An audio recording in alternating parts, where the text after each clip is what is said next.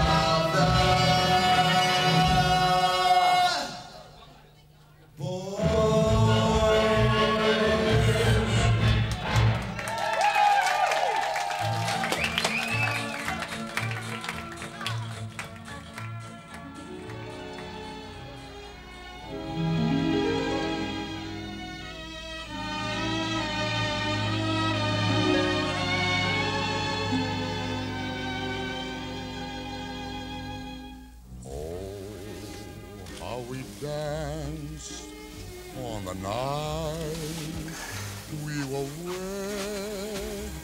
We vowed our true love. The word wasn't said.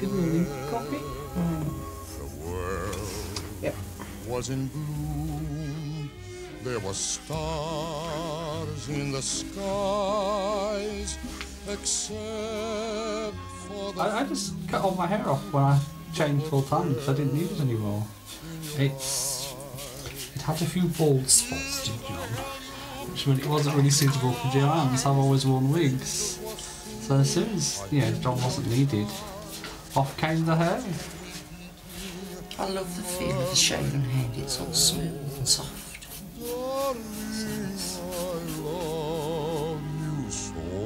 He used more razor blades as Joanne than ever did as John. And you look at yourself in the mirror before you go out the door just to check everything and you think, wow, is that really me? Yeah, what a change. Oh, and she's going out somewhere. I mean, going out, going out, not just going to work. And she's going out somewhere. Oh, she's dreadful. Every mirror in the house. Let me have a look. Let me have a look. Get out of the way. I don't say that. Oh, you do. I you don't. do. Moment sublime, we'd find that our love is unaltered by time.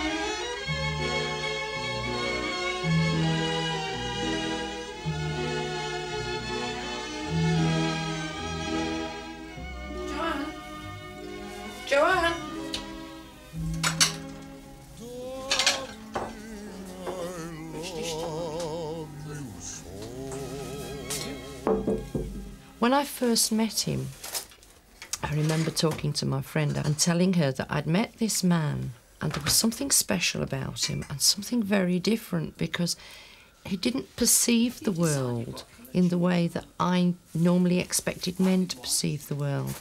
He didn't respond in the way that I expected men to respond. Um, he understood and, and empathised with things in a very feminine way. So right from the beginning, my man wasn't all man, if you see what I mean. He there was something feminine in, in his in his mind, in the way he, he behaved. Do you want to stay extra night this year? We've be going out for a week or two. As Three days. Okay, three days. And we're back in Naomi's room for the first time at night. And the inevitable's on the cards. Hopefully on the cards. And I don't know what made me do it, but there's this lovely nightie negligee hanging on the back of Naomi's door. I just asked if I could put them on. And to my surprise, she said yes. And that's how I told her. That was amazing trust. I lived in a college full of women. All I needed to do was open the door and yell, and I would have destroyed this man. Uh, that was. I was just knocked out by the trust that this person was putting in, in me. And that finally clinched it that somebody who trusts you that much and is that honest is never ever going to hurt you purposely. I was very concerned that he would when I, when he saw my face and my reaction that he would see the deta- this my distaste which wouldn't in fact be for him but for the things he was wearing the particular things. Um, but when I turned round I was quite surprised because he looked really nice. I mean okay he looked like a bloke but he he just looked very very attractive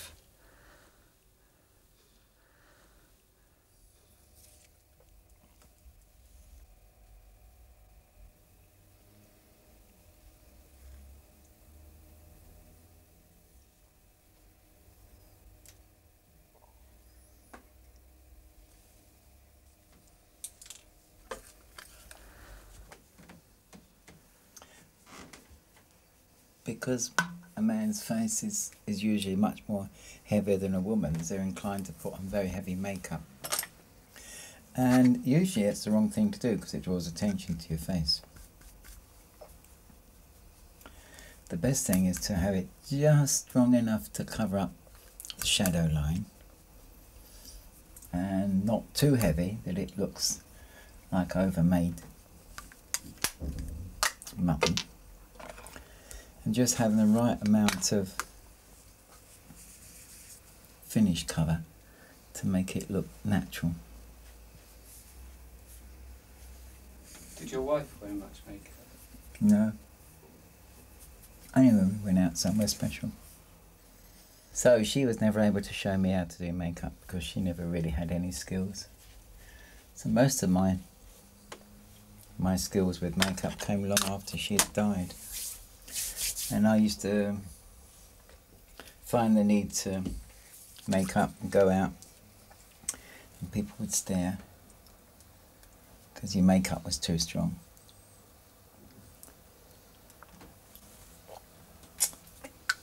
And then you come back and you start working again and try to make it more natural looking. Talk to other people, see how they did it. Until finally you get it right.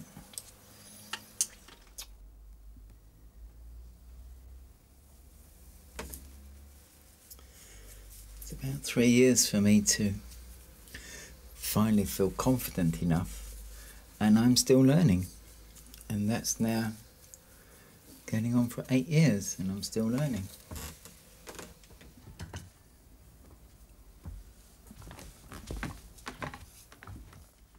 That was that was my other self. That was him, Terry. Yes, it's it's hard when you look back and see the image that you did have and try to remember what you are now. I've got no regrets, none at all. He had his life, he had a full life. I've now got mine. But is he my alter ego or am I his alter ego? Think that's the interesting point.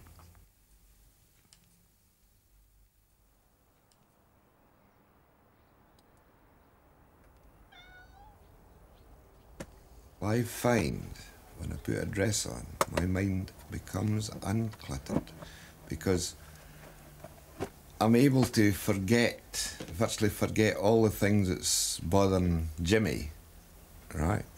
And there's nothing bothering Jenny. I was putting some underwear, clothes away, and I went into Jim's drawer, and there was this underwear, this lady's underwear, and it wasn't mine, and I wondered who, you know, what the hell it was, really. I knew it wasn't another woman. It, the, uh, these weren't pretty frilly things.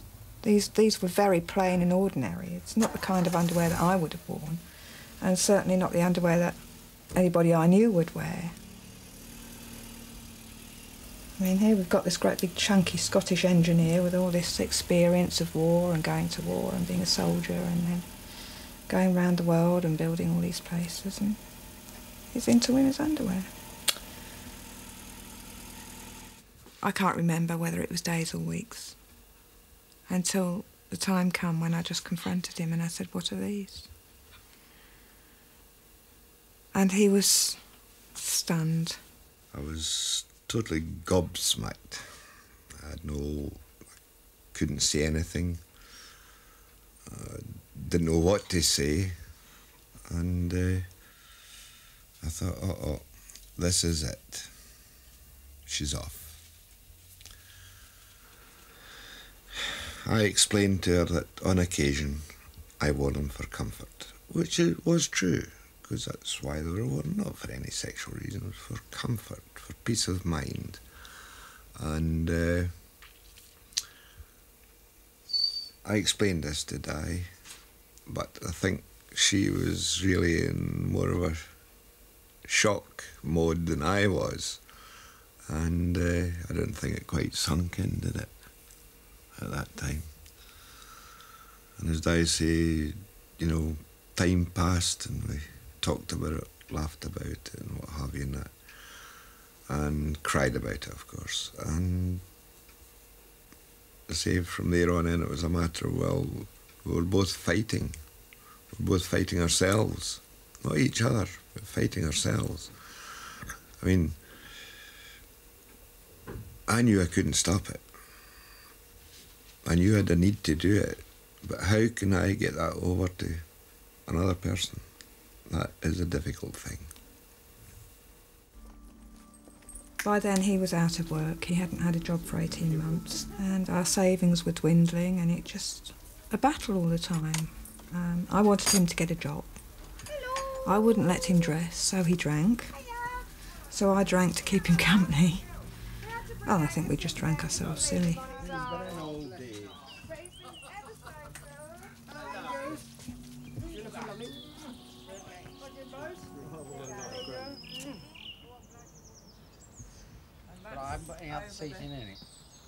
I told her that the level to which I dress, which at that time was normally some lingerie, I said that I would try and keep it, you know, just at that level. I didn't know whether this pleased Di or she was saying to herself, well, good God, I don't want to see this big fella running about in negligees and things, you know. Uh, because finally, she was the one who turned around and said, Well, if you're going to do it right, if you're going to do it, I'm going to make sure you do it properly. God's sake, Di, you can't put on a chiffon dress and be called George. I know. Yeah, they put a dress on, they can call me Jimmy, they can call me what the hell they want, I don't really care. Really good. Oh, oh, Angus. The men are just having the confidence now to go out and and show more freedom of choice. Hello. Oh, hello, Eleanor. I've been getting the country out of the depression. Oh, is that what? Do you want a drink, dear? Yes, please. Would you like to help yourself? Oh, I've got to go again. In a minute. Right. when you first came out was a bit of a traumatic time for you, if I remember. I rang up a group in London uh, years ago, and um, I actually couldn't believe it when I walked in because there was eight women, men dressed as women, in the same room as me. It's dead weird because I'd always been on my own when I'd done it and never met anyone else to talk about it. and that was really a great feeling That's to, to meet step, others it? and and come out and I was on a high. I went manic. I couldn't sleep. I was I was in anything with life. It was like a musical. My life was like a musical for t- 24 hours. Tamara. I oh, I had, a, I had a bit of a breakdown. That's how it came out to my family at first. Do you get depressed, Um, don't you? It does well, make you right. depressed Yeah. in a mild 'Cause you sort feel of very way guilty, don't until you? you, Yeah. until you can recognise what actually is is wrong with you or, or right or to get it sorted That's right. basically. On reflection, I, I've come out twice. Yes. First- uh, First time was during the war, uh, in the blackout, when you couldn't be seen. I went out, I used to go out in my mother's clothes at night and my father's tin hat. He always insisted when I went out that I wore a tin hat because um, invariably there would be an air raid and shrapnel would be belting around all over the place. So I used to do that once or twice a week. when we go out, we make a special effort to look very, very smart. Usually a lot smarter than the average woman that goes out and around. Yeah. So we're, we're drawing attention to ourselves. But then when we get it, we're not always sure how to deal with it, are we? That's- Well, Janet that's and I have a big yeah. advantage over all, the rest of you. We're old, and people don't look at older. People don't look at us until you get to our age. do we? You were saying there, Emma, that you come out fairly recently. That's right. It's only been last year that I really started to Though April showers may come your way, they bring the flowers that bloom in May. So if it's raining, have no regrets,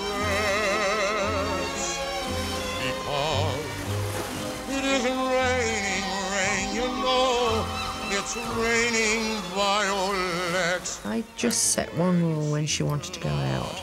She could do whatever she wanted at home.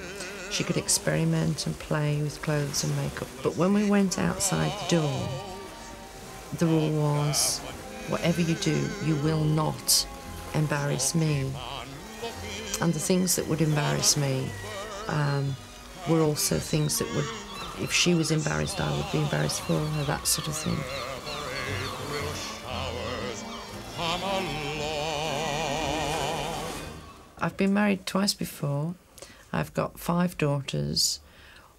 Um, the youngest one stayed with her her daddy and his mother, um, and I lost contact with her.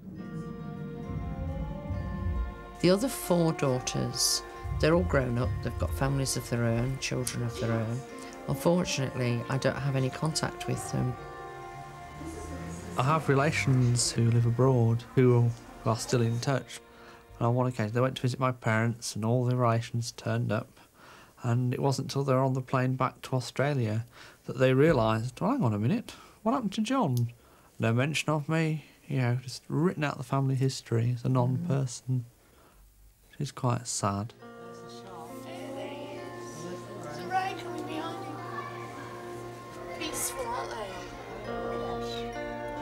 We are not prepared to change our lives. We have to live our lives for us, and they have to live their lives for them.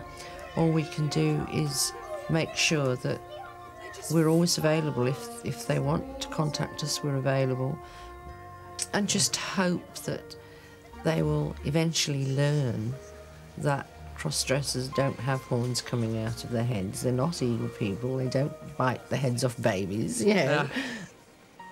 Yeah. I have my memories of my children, um, and I just have to hold on to those. Yeah, it hurts sometimes. Hmm. Yeah.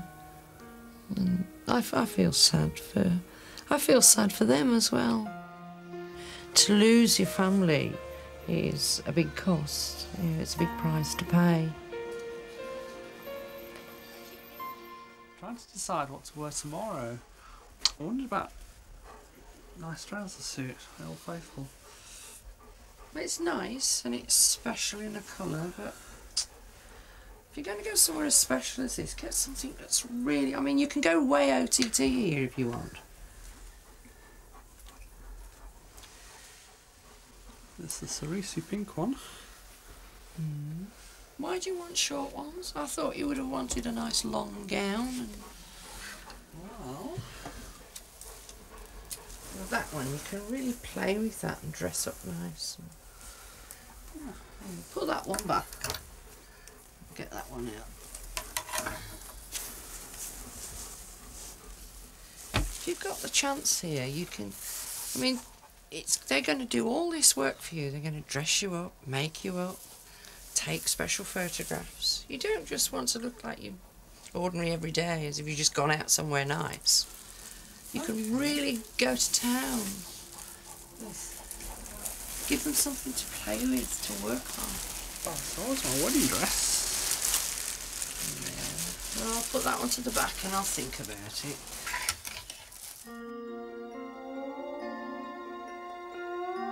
Joanne loves big frocks. She loves really over the top feminine things. Thankfully, she never ever wanted mini skirts and black fishnet stocking.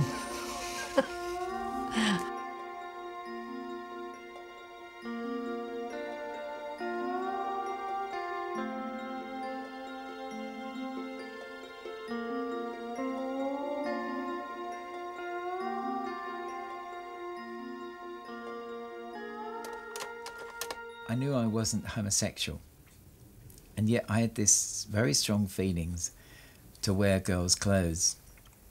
Part of my problem was I didn't know as a young man whether I wanted to wear their knickers or get into them, because my sexual orientation was then and still is, even now, um, very heterosexual male.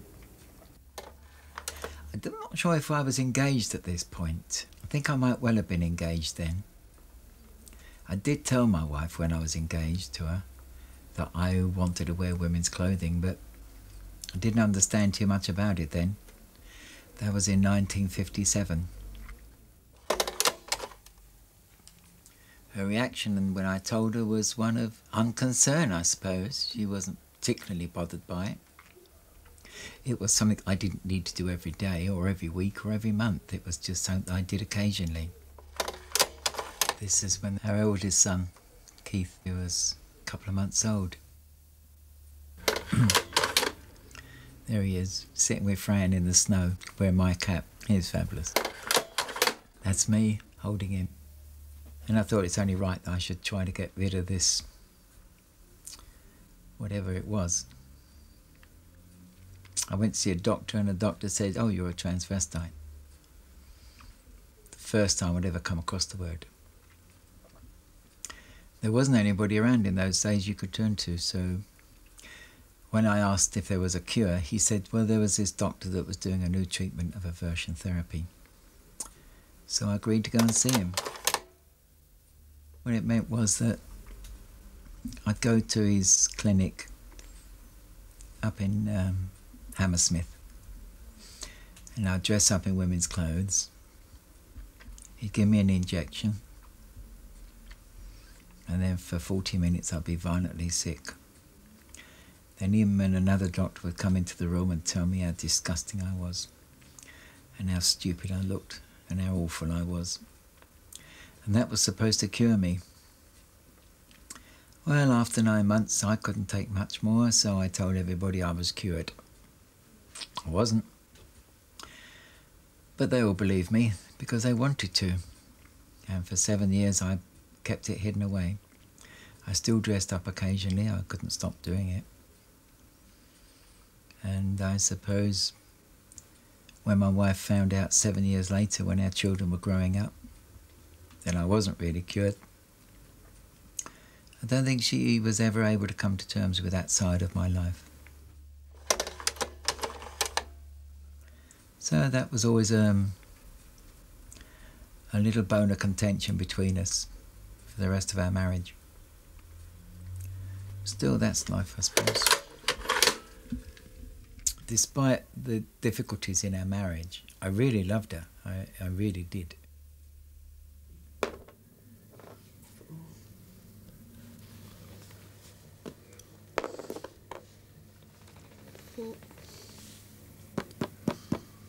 Dad, have a drink, please.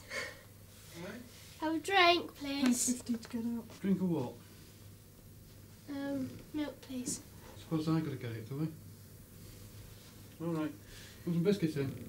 Yes, please. Yes, please. Chocolate ones. Chocolate ones. Digestive. What do you think of Steph? Marianne? She's all right, actually. What do your friends say? What about? Twenty pound, please. What about my dad? Yeah. They all say stand the tram and everything. Stand the tram with the transit van. And stand the man, the one that can. I just ignore it. we sat down and talked to the children and told them that Dad wears dresses. Um, Marianne wanted to see Dad dressed up. Stephanie didn't actually have a name at this time, she was just a woman. Um, so Steph went and dressed up for them. You explained that that evening. I went upstairs and got changed. The children were sitting in the front room with Patsy. And um, I came downstairs, and as far as I got was a was a was a door of the, of the living room. The nerves just took me took over, so I couldn't walk in. So I went into the kitchen, called Patsy through.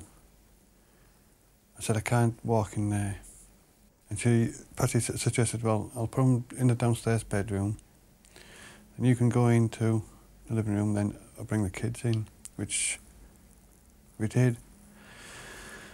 And at first, the kids were a bit shy to come in, but they, they were coming and walked in, and they were quite surprised on on what on what they're seeing. Um, you know, they, they just just um, took to Stephanie, didn't they? Yeah. My children are being brought up in a family where dad is a cross dresser and he's happier that way. If uh, he'd have carried on as Stan, Stephen. he, he'd probably be dead by now. Who's winning? Don't Yes. tell me. A couple of attempts to take his life because he couldn't just could not cope with Stan. He constantly saw Stan as a failure because he didn't do enough for his children or for me. Stephanie, she's full of life. She wants to take the children out. She wants to go and get a job. Right? She wants to get up in the morning. Noticed you getting a few looks today. No. When we first decided to go out together, Yeah, me and Steph, it was nerve wracking. But I'm afraid you're too big for them, Marianne. Put all the Christmas decorations, Maz. which was a very big step, going into a big town. Possibility of meeting someone we knew that would recognise me, if not Steph. Um, an hour into the to getting out of the car, we were totally relaxed, even though people had read Steph. You know, you, you always get the one that will stop and stare. It, it's quite hurtful at first for the cross dresser mainly. No cross dresser likes to be ridiculed. I feel a bit em- embarrassed when people look at me or laugh at me. But I thought it, they've got their views and points. They can keep them if they want, but long as they don't hurt or upset me.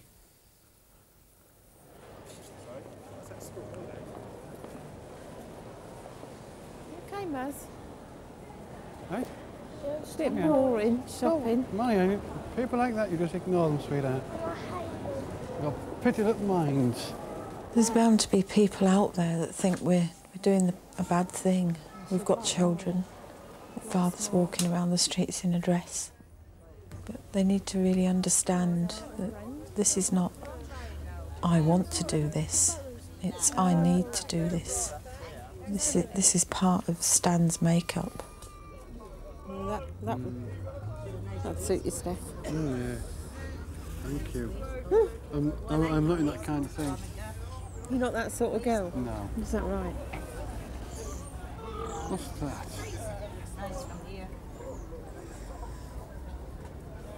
Where is it? I have no idea. Well, that's obviously straps.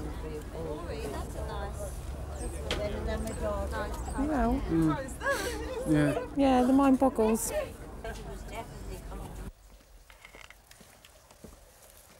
I'm not going to take this alyssum out, you know, because it's going to dry out all this bed. It's here to keep the um, moisture in. Pretty dry now. But I'll get all these. I think I'll cut that back and see if there's new growth on it. I don't know why I call her a person because she's not separate to Jimmy, but she's a personality which I felt was going to come between us. And it was only when I allowed her to emerge and show herself, and I confronted her because basically that's what I was doing. I was confronting this person who I felt very threatened by. I felt that she was going to threaten our relationship, that she was competing with me, that she may be more important to Jim than I was. And it took all that time to confront her, but when I did, it took another year or two for her to find her place and to follow the rules. But once she did that, it's, she's not a problem now. I don't mind her now. She's, she has to come out and she helps Jim, and that's the important thing.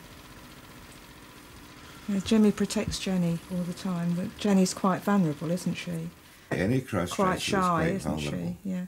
Oh, yes. I mean, I know there's a wide range of behaviour available to all cross-dressers, but you fit very tightly into this quite collected and quite disciplined area where you think Jenny should be a, a woman to be admired, but not a, a, a, an over-expressive or extrovert woman. You think, you know, she yes, seems but to when be you quite say disciplined. when you say Jenny is not an extrovert, right? Jenny is Jimmy, yeah. and I can't see it being any more extrovert. A man putting a dress on. Hello. Hi. How are you? Mind the stairs now. Come on through. Hi, come on, let me take those for you. Right, do you want to take a seat on the sofa there? Now, who's Joanne and who's Naomi? I'm Joanne. Hello. I'm Naomi. Hi, pleased to meet you. Hello, darling. Take a seat then on the sofa, girls, and I'll just pop your frocks down here for a minute. They're very lovely, aren't they? Right. Woo. Okay. Come on, set. Oh, you look marvellous. You look gorgeous. In the middle of the set. Lovely. About there. Great, okay. Have you done this sort of thing before? No. Right, okay, well now you've seen the sort of things that we can do. Uh, we'll go downstairs and uh, get started. All right, Okay. so if you'd like to follow me, careful on the stairs with your heels, ladies. Do you want me to take anything? Shall I take these? We'll come back for your frocks in a minute, all right? Okay. I knew a long time before John said things to me that actually it wasn't going to stop at just wearing pretty underwear and things. I knew that one day we were going to get to the point when um, he was going to tell me that actually the truth of the matter is I'm really a transsexual. But I couldn't say that to him because I didn't want to make him feel that he was being pushed along the way or what have you. I know this is a male body, but I'm now taking you know hormone therapy to change to change it, and yes, I'm looking for surgery. There we go. Now let's just pop your arms in there. That's great. Keep you covered. All right. I had someone else in who had started taking the hormones and then stopped for you know reasons better known to themselves. Um, that he said it made it made him feel like uh, a pregnant woman. Or how he imagined a pregnant woman would feel. I don't quite know how he knew how we feel in that state, you know. Don't mind, do you, dear? Go ahead. All in a day's work. The longer I've been living this way, the Mhm. happier you get, the more contented you get. Really, even with the hormones, you don't get the mood swings or anything. Because you're contented in yourself, you can let all your emotions out. Mm. You can cry when you're sad, you can laugh when you're happy. Do you, can you really not do that as a man? I didn't. Don't mind me asking you that, do you? I think you'd have to ask a real man, but I didn't. Okay. All right. Chin down a little bit. Lovely, nice to the camera. Lovely.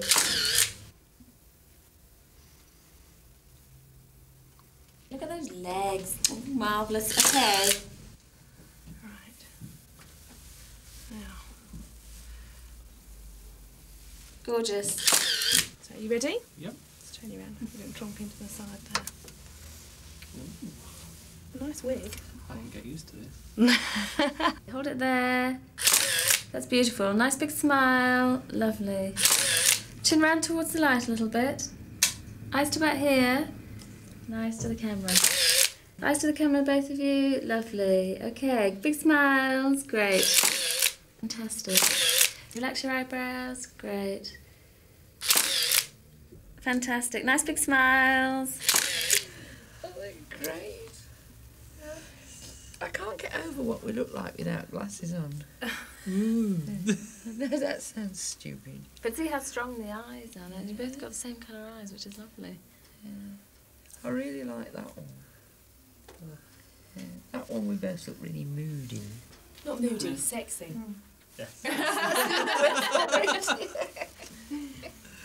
I couldn't be what I am without Naomi's support and help for all those years. But knowing that actually pursuing that and changing could actually lose me Naomi. So you have this awful dilemma here that you, you got to follow your, your what you are, but you don't want to lose who you're with. So I'm extremely lucky that as I've changed, Naomi's changed with me. That's a real sort of fluky coincidence. So uh, that was my worry. What attracted me to Stan was the masculinity. He was very masculine, tall. Um, I looked at him as a protector, I think. Where's, where's Jamie? Where's Jamie? Seeing the, the feminine side come out was very hard. But now I'm used to the feminine side. I prefer Stephanie. She's much better, much better character. She can deal with things a lot, lot calmer than Stan. I can no longer relate to Stan. Quite, quite sad at the moment because it brings back memories of before the cross-dressing came out. Stan is, to me, is not a whole person anymore. Um, he's certainly not the man I married. As Stan, he's really aggressive. Um, his actions are much quicker. Um, I can't communicate with him as, as I can Steph because he'll argue back. Oh my God, if Rory's on the scene, he will hit the roof in the end. Yeah, use this. Because Rory will wind him up worse than ever. I didn't get on with Rory. Taken off. Has it got a pin to go for it? Yes, it's a pin. I think. Just get it. It's not ratting. Like I said, take that one off.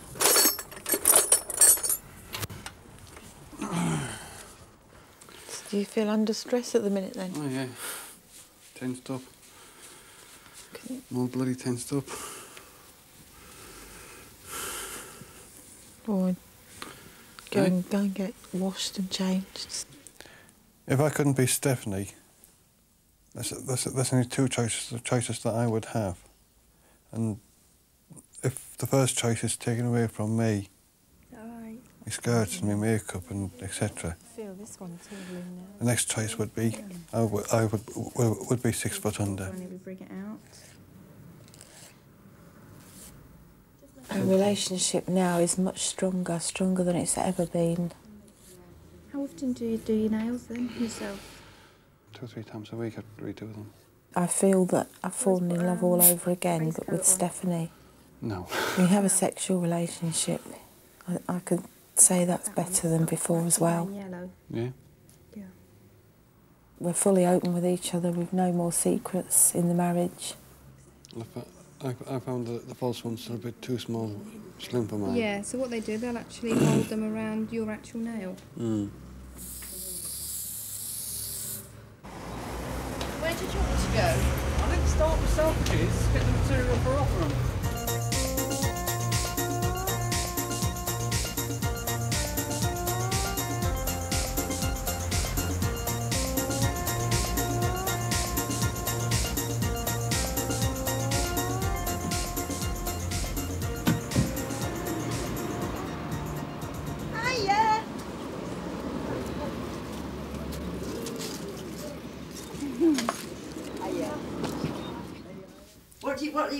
Do you go for most? Skirts or Skirts, Skirts. mostly.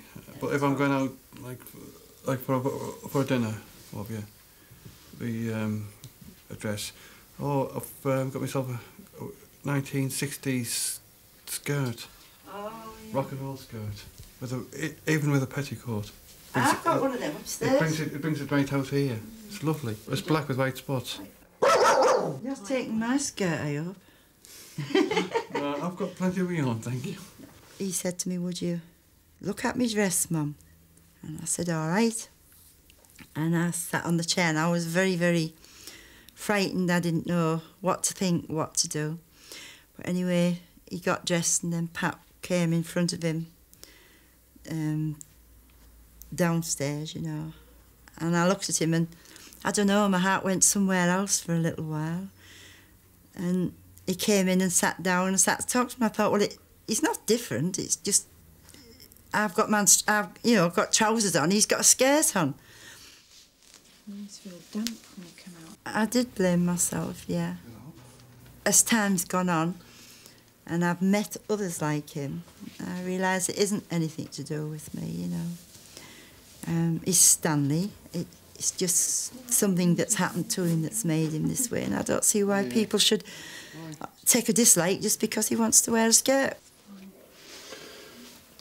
I should, I should be, should be all right. Your Shall I? necklace. Yeah. Shall I take it off? No, I think it'll be okay. Right, all right. It's up to you.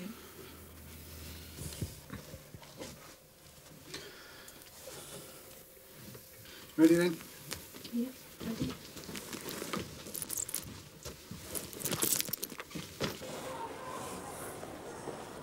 Someone's just gone over a little bit. Danny, Stanley, instead of going walking, it's easy to push your foot forward, look.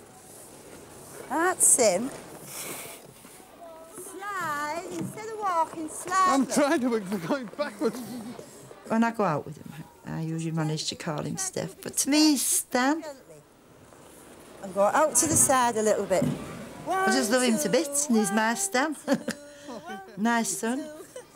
But the funny thing was, when I was having him, I craved a little girl. Of course, I got him. I wouldn't have swapped him for all the girls in the world. That's right. Don't walk, slide. to go back. think you're coming out of your house in the winter. Right, we've got to decide on what we're taking to Rotherham, remembering, of course, that the weather up there might be a bit different from down here. Or do you want your woolly um, dressy gown? Oh, look at those shoes! What Oh, stop your fussing, ah. woman. Wow, you've got so many of them. Yeah, I think you need to take this because you, you're always cold, aren't you? Bloody freeze. When we were thinking of wearing that. When I'm going out to service a car. no, I mean in the evening or in the day. Well, in the evening. I was going to say it'd be a bit much for the day, but yeah, if, if you want. So, which one are you going to wear Saturday night and which one are you going to wear Friday Oh, night? I'll make my mind up when we get there. Shove Oh, it down there anyway. All right then, perhaps we'd better freshen this up as well. Do you want to wash it through? Start low heels. Yeah, oh, definitely. Oh yeah, I can't have you. Well, when you're drunk at the bar, you've Oh, less stop. distance to fall, you see. Angus has had a go at him. Look at these. Uh, That's right, blame Angus. Let's see now. Uh, oh yeah, there's the neighbour to that one. Yeah. That'll. Come on, you're he'll, not having He'll go No. with uh, with something. Bye. Bye.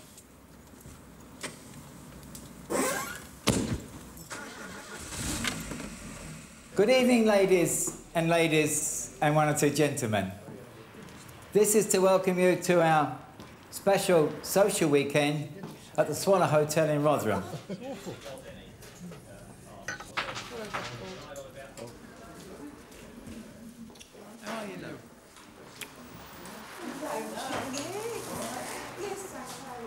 We've got over 200 cross-dressers here with their partners, their, some of their families, but that's only a small fraction of the cross-dressers out there. So in coming here, they do get that chance to express that side of their personality in such a positive way with all these people around, and, it's, it really is a good way.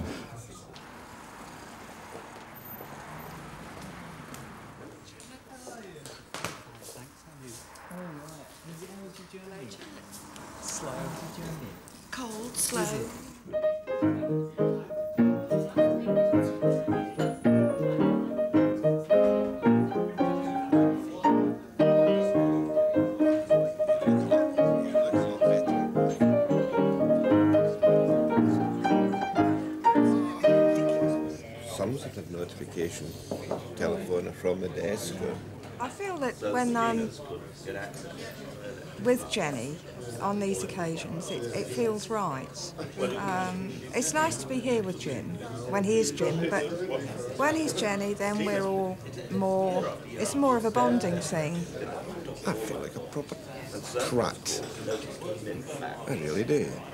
Um, I mean, under no circumstances can I ever expect anyone to accept me walking the street as a woman.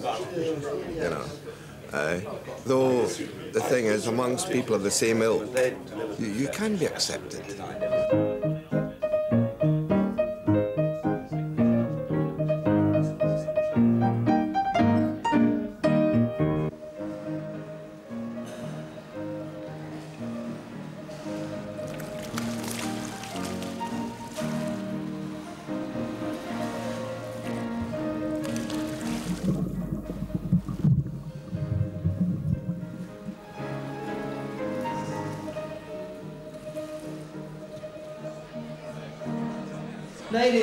Have your attention, please? Can I have the contestants for the Miss Elegance Parade? Evening, ladies.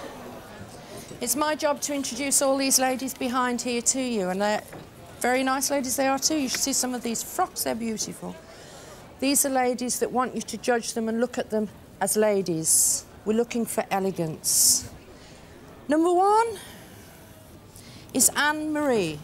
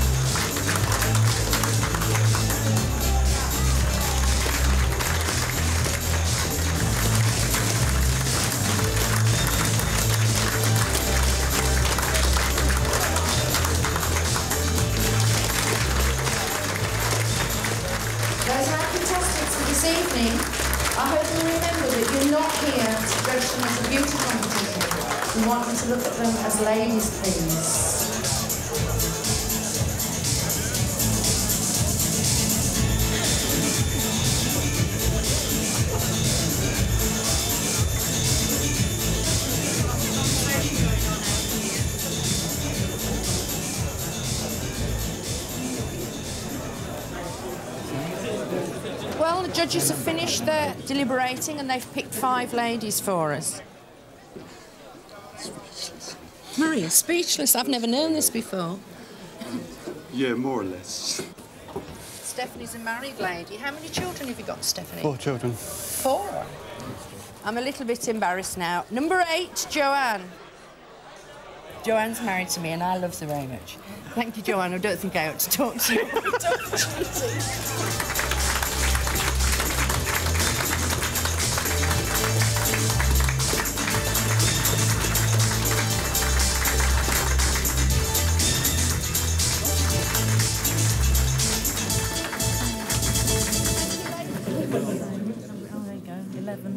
11. And I them added tomorrow.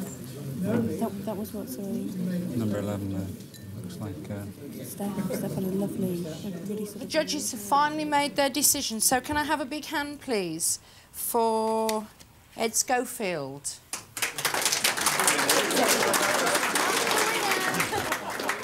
He's not the winner. He's not the winner. He's going to tell us who the winner is. I'm very pleased to announce that the winner of Miss Elegance 1995 is number 11, Tamara.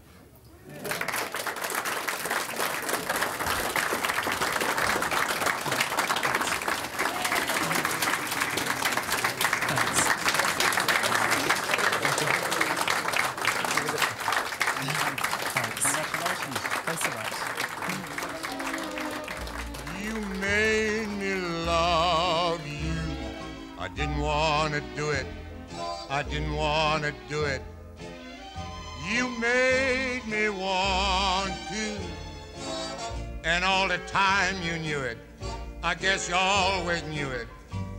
You made me happy sometime. You made me glad. But there was